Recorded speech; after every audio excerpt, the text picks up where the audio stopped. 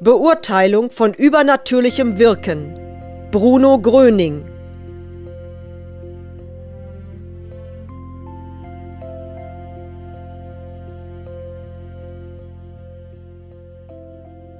Belastet euch nicht mit Gedanken an übernatürlich anmutende Begebenheiten, deren Wert und Art ihr nicht beurteilen könnet, solange ihr euch nicht überzeugen könnet von der geistigen Grundlage solcher Geschehnisse.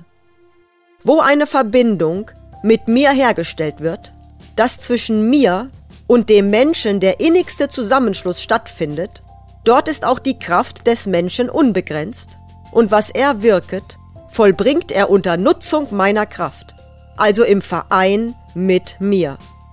Und dann ist es auch mein Wille, dass diese Kraftäußerung der Menschheit offenbar wird. Ich selbst stehe also dann hinter jeder übernatürlichen Tat, und es ist die Kraft des Glaubens, die jedes Gelingen bewerkstelligt. Ich behalte mir aber selbst diese Kraftübertragung vor. Das heißt, wo ich einen Menschen als Vertreter meiner Lehre weiß und um seinen Willen, der mir voll zugewandt ist, und der nun also in meinem Namen auf Erden tätig ist, dort wirke ich auch in Gemeinschaft mit ihm, aber auch nur dort. So werdet ihr also selbst erkennen können, meine oder meines Gegners Mithilfe bei jeder außergewöhnlichen Kraftleistung, die also als Wunder anzusprechen ist. Der Glaube und die Liebe sind das Kennzeichen meiner Gegenwart und meiner Assistenz. Wo tiefer Glaube und wahre Nächstenliebe einen Menschen bestimmen, zur Hilfeleistung, dort kann ich nicht auszuschalten sein, weil ich selbst die Liebe bin und also immer dort gegenwärtig sein werde, wo Liebeswirken stattfindet. Ich hindere aber auch meinen Gegner nicht an Kraftzuwendung, so dieser in einem Menschen den ihm zugewandten Willen findet, doch auch sein Wirken wird zu erkennen sein an dem Ausführenden selbst. Er wird kein Verkünder meiner Lehre sein, also nicht in meinem Namen tätig, weil er dann nur für mich und meinen Namen eintreten muss.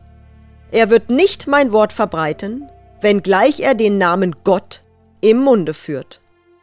Und daran sind die rechten und die falschen Diener Gottes zu erkennen und auch jede Wundertat, dass mein Wort gepredigt werden muss, wo ich selbst meine Kraft spende zum Wohl der leidenden Menschheit.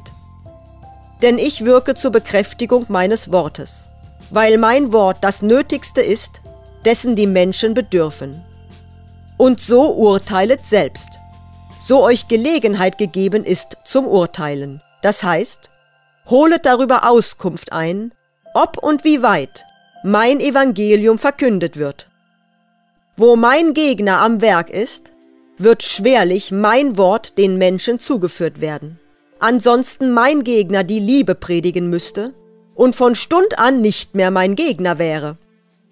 Ich überlasse euch aber selbst die Prüfung, auf dass ihr achtet dessen, was euch wundersam berührt, auf dass ihr nachdenket und mich um meinen Beistand bittet, auf dass ihr gerecht urteilet, anerkennet, wo mein Geist wirket und ablehnet, wo mein Gegner tätig ist. Und ich werde euer Denken recht leiten, so ihr das Rechte erkennen wollet denn Wahrheit soll euch werden, die ihr danach verlanget. Amen.